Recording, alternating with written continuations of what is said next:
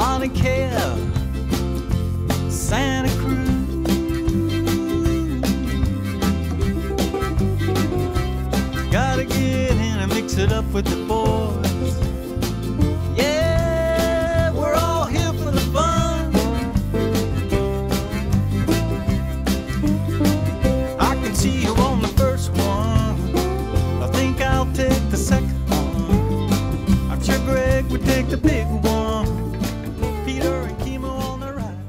And welcome to this special encore presentation of the Hawaiian Islands Vintage Surf Auction from the Blaisdell Center in Honolulu.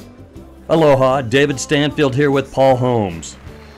How would you describe this scene here today? Well, this has been absolutely incredible. Um, there's a lineup of surfboards that are going to be uh, under the hammer coming up very shortly. Some historic wood surfboards that date back to the 1920s and 1930s, all the way up to some modern equipment that is like state of the art, ridden by some champions more recently than uh, that ancient history. Like it's, uh, everything in here, though, is 25 years old at least. It's vintage, and it's an absolutely fabulous collection of surfboards that Randy Rarick has put together for this auction this year. Like the Antique Roadshow on television earlier today, there were vintage surfboard appraisals taking place, and my colleague Paul Holmes was there for a very historical surfboard that was brought in. We're here at the Hawaiian Vintage Surfboard Auction, and an amazing board has just walked in here to be appraised. It's owned by this gentleman here, Mr. David Darling. David, how did you come by the surfboard? I had one almost identical to it. It was a pintail, shaped by Dick, probably from 1966. And one evening at Haleiwa, it was getting bigger, like three, you know, five to seven, seven to 10, 10 to 15, 15 to 18 in the matter of two hours. My board went out in the rip. So I decided not to chase it. It was closed out. Came home in tears. Dick was living next door. And he said, you can stop crying. I've got a blank in the garage. We'll make you one overnight.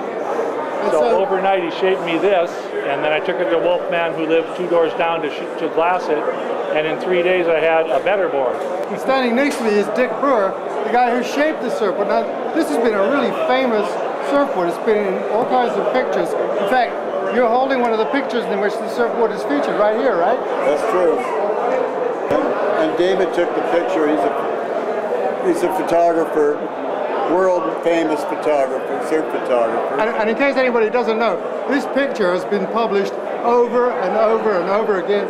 It's one of the most famous, iconic photographs in the entire world of surfing, isn't it, Dick? Well, thank you. I, I didn't realize that, but yeah. So now we're going to hear Tim over here is going to appraise this board and try to put a value on it at this really exciting event for this board walking in here. Tim, over to you. I'm excited. I've got chicken skin with this board just coming in, and, and I'm absolutely honored to stand here with these gentlemen right now. But this particular board is so historically significant in the surfing world that it's amazing that it's still here in this shape today. I mean, yeah, it's a little bit browned out, but you know what? It's got it's got so much history, and he's got all the provenance. This gentleman took this photo right off the bat. I mean, this board is worth easily five thousand dollars. If it went into the auction venue and who knows, the sky's the limit. You get a couple different people in the room that want it, it's going to go up and up.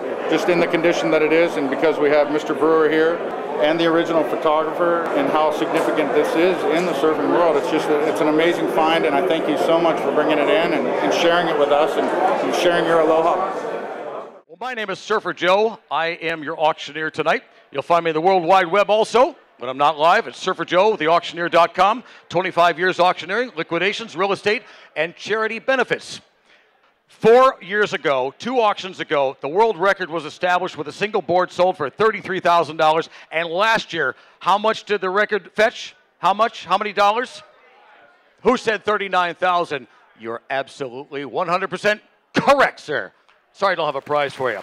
Anyway, let's get it on. We've got a bit of a program, and then we're going to get right underway. And we, he does that. He hates surprises. Randy, please come to the stage. Sure. He really hates surprises. Just in case, just in case this is the last auction. And if it isn't, then you're not allowed to crack the bottle and you've got to hold on to it. And next time you'll wear a dry lei. but I just wanted to say thank you to everyone for coming, and I think everybody here knows to some degree what Randy does and what an incredible person he is.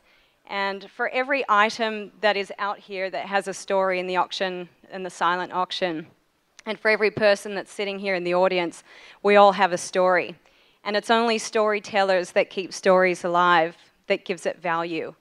And I think what you created here with the auction, Randy, is actually priceless.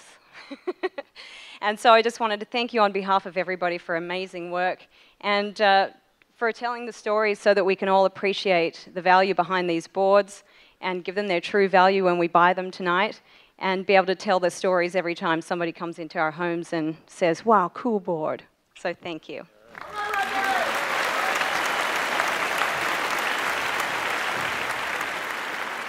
Watch the Barrett Jackson auto auction on TV, right? You know what I'm talking about. You know what ringmasters, you know what bid callers, you know what bid assistants are going to be doing. Helping you make sure you get the item you want at the price you want at the right moment, the right way. We have right here JK, your head ringmaster. We've got Carlton here, Simba there, and my man, Marvelous Marlin. Give him a nice round of applause from the number one wholesale dealer car auction in the world, the Manheim Aloha Auto Auction, and taking bids on the World Wide Web. He's back again with a sidekick, terrific Tom.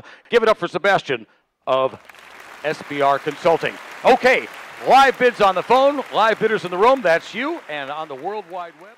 I'd like to acknowledge the guy who designed this board, Mr. Dick Brewer here in the corner. Dick, give a wave.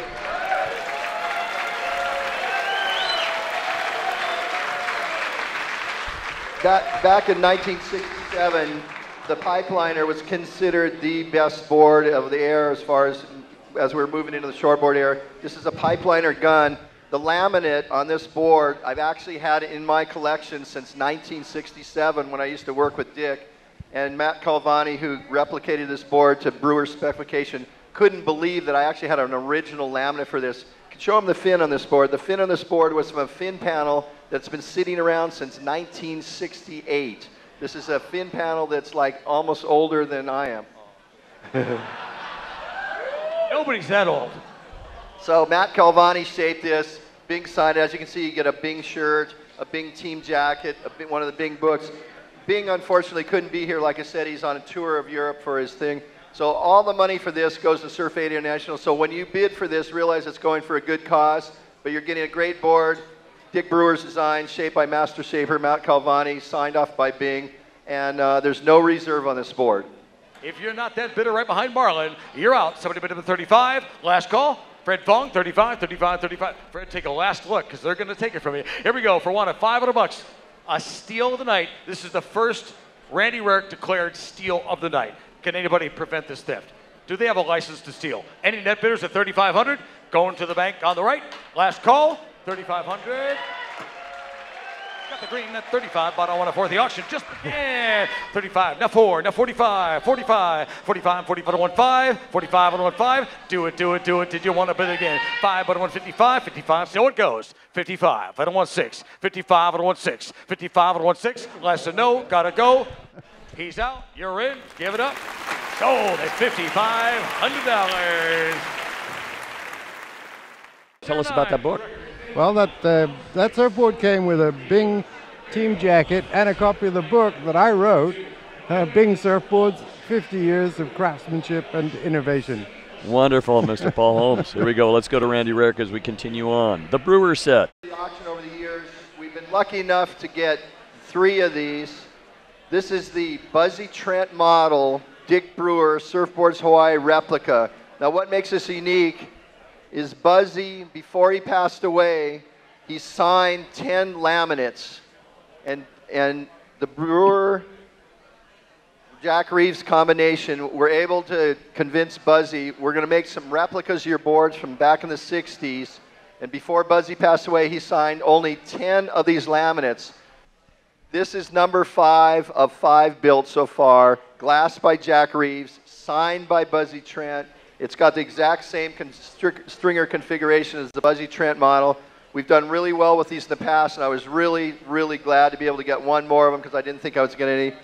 This is a brand new Buzzy Trent model, Surfboards Hawaii, shaped by Dick Brewer. Joe, away we go. Hit my reserve, ladies and gentlemen. Any increment over 10,000 is going to win it. We are going to the bank. Your way, sir. Thanks for the bids. Anybody else? He's got 10,000 bids. Says you don't have 11. Nets out. Roams out. You're in. Somebody else? Give him a nice round of applause. It's hammer time. Smile, sir. Your winner. Sold. $10,000. The deal of the night. What a way to kick things off. So much more to come.